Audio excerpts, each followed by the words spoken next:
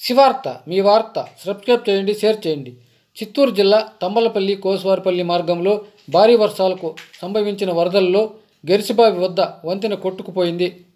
రాకపోకలకు తీవ్ర అవస్థలు పడ్డ దేవరబురుజు కోసువారిపల్లి గ్రామాల ప్రజలు కట్టెలతో తాత్కాలిక వంతెన నిర్మించారు.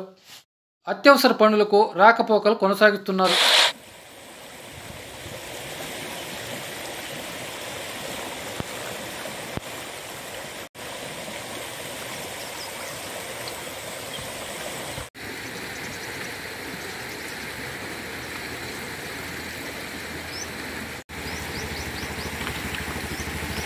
câmera, que é